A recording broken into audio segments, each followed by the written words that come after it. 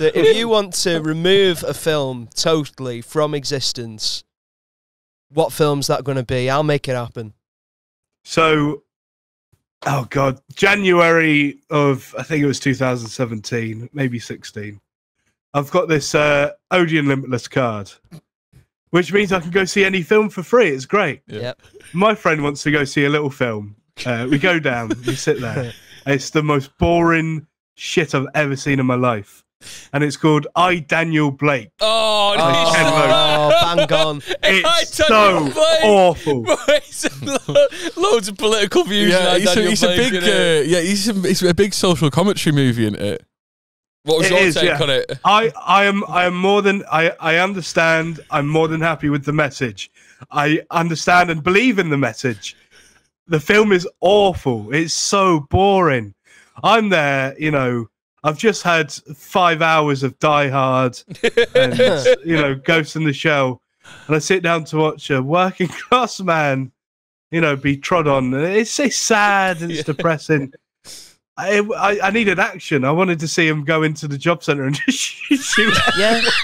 Did you not watch the whole film waiting for him to turn into a robot? exactly. I was hoping it was like a villain origin story You're where just- he was, yeah, yeah. you know, going against the government or something. Not he spray paints the wall as his big gesture. I thought the ending was going to be like he goes into the job center and there's a job that's like robot creator and it's the prequel to iRobot. Yeah, And he creates that whole world. right, so we're, I can't believe we're banishing. We're going to have a list at the end of the series, and it's Yeah. just going the first. Well, one of them is going to be I Daniel. Yeah, Blake. but I will, I will- just in Max's defense, there, he's not going against the message of the film No, and no, the sentiment no, behind no. it. It's just the fact that he's obviously Yeah. revved up one from his other Yeah, films yeah. that What's he the message of the film? Make job center queues shorter. yeah, more people have jobs. you That's, spud. that's inspiring, that is. I uh, no, I understand the message of you know, like you know, people are being you know, the government shit. You know, yeah, but it was just That's my favourite quote from the film, Max. You got it spot on. Our government shit. Yeah. I was really hoping it was going to be like the Joker film, where at the end he just he becomes some sort of urban terrorist, you know, and you know tries to bring down the government. He Oh, bad he doesn't do Yeah, doesn't no, that's a spoiler. It That doesn't is a happen, by the way. spoiler, Yeah, there you go. Some men just want to watch the world buggered up. Lock and load. So that's it. Done. I Daniel Blake in the banished list. Oh, You- I can't believe it's, it's on a that list. start, I know, what could a stun a few people. That, um, which now brings us on. Yeah. It is the ultimate favorite movie of all time. What is that one standout film for you? What you picking? So I went to see it the other day. Um, What?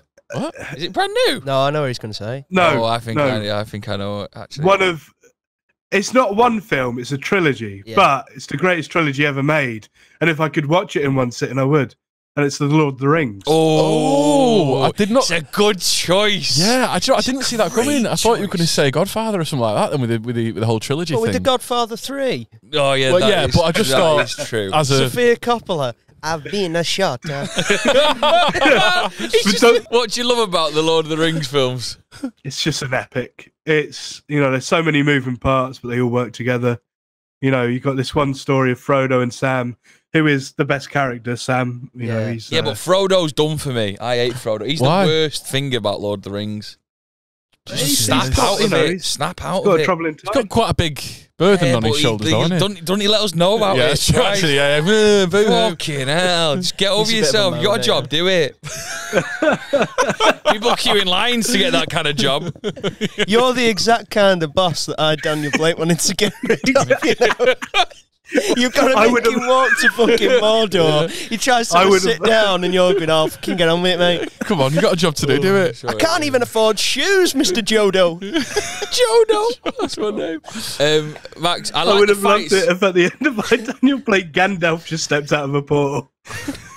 There's one job you can do for me, Daniel Blake. You make Gandalf steps out the portal and goes, "You have anything going, Aldi? Eh?